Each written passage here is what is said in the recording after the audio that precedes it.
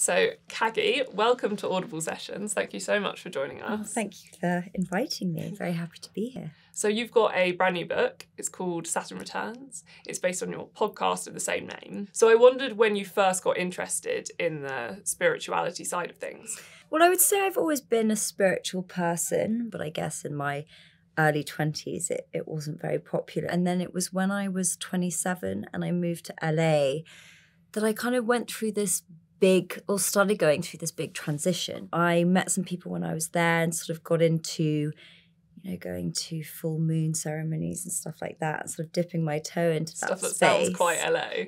Very LA, but I guess it resonated with Yeah. me and something that was quite innate in me. Mm. And then that kind of ignited a curiosity about that whole area. And it was really when I went through my Saturn return that I was like, okay, I, I want people to know about this. Mm. So, explain what the Saturn return period is. Sure.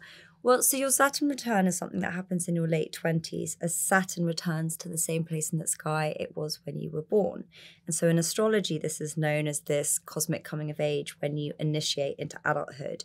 And its reputation isn't necessarily a good one because if you look up anything about Saturn return, it's a bit doom and gloom and everything in your life is going to turn upside down. And whilst that might be true, what my my aim of the book is to give people a different perspective on Saturn to actually recognize that the things that fall apart in your life or the things that do get turned upside down are a necessary process for you to come out the other side a more authentic and truthful version of who you're supposed to be. hmm So, how was it for you? What was that period of your life like?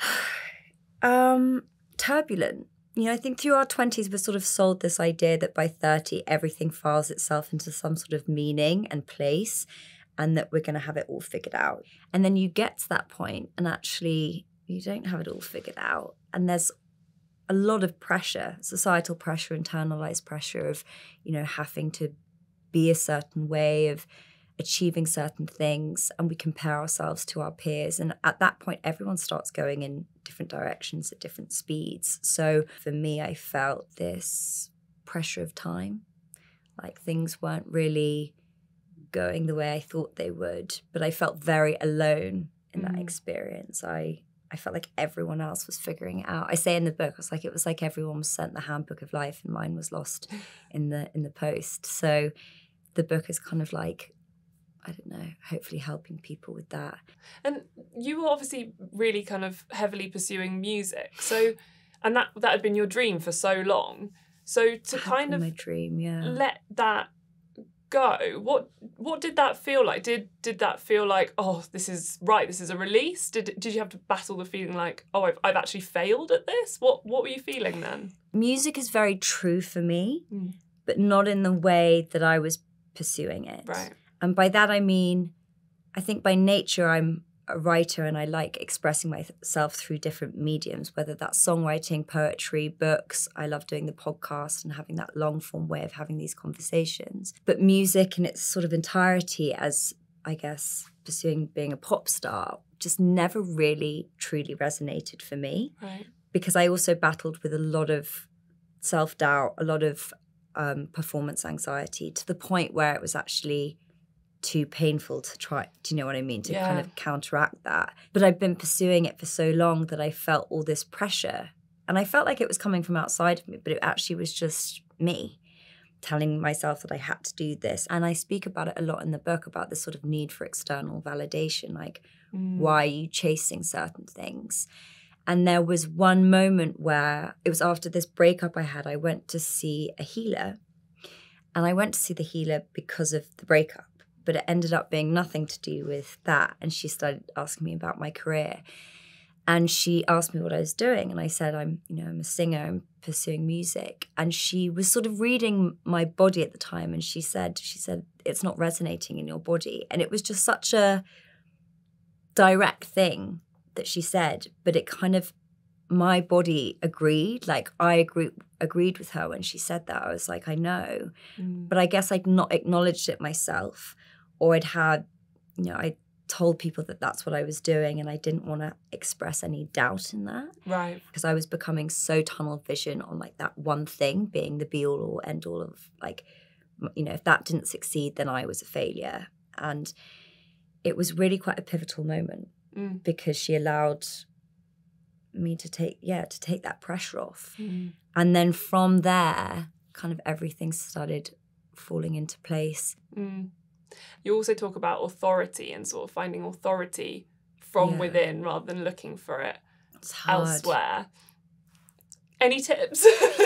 I mean, the thing is, a lot of the stuff I write in the book is stuff that I'm I'm still constantly learning. I've sort of rejected authority and that kind of feeling like someone's controlling me in that sense. Mm. But equally, it was very hard to recognize and realize that actually I could be the authority of of my own life because within that there comes a lot of fear.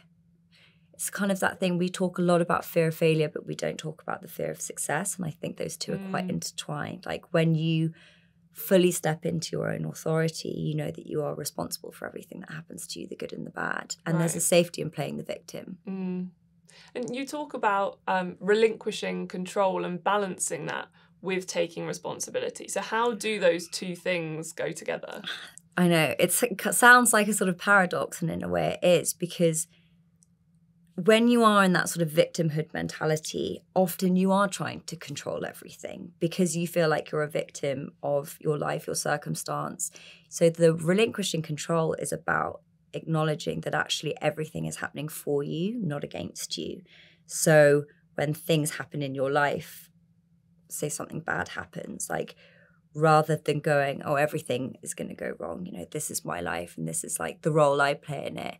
Instead, you're like, this is happening for me. I might not know how or why, but I trust that it is. And I think we can all reflect at things that happen in our lives and see that something that was seemingly awful or heartbreaking actually led us to something so much greater. We just didn't know it at the time. We like to think that life is this sort of linear A to B, and this is my goal, and I'll just walk and I'll get there, and everything will be everything will be lovely and perfect. But it doesn't work like that, you know, and we need to be I always think of like Saturn as a wrecking ball that kind of throws us off track, puts us on a detour, but it it does so so we can gain the wisdom and experience and just make us a more sort of refined person because it's actually the the pain and those those experiences that craft us into the people we're supposed to become. Mm.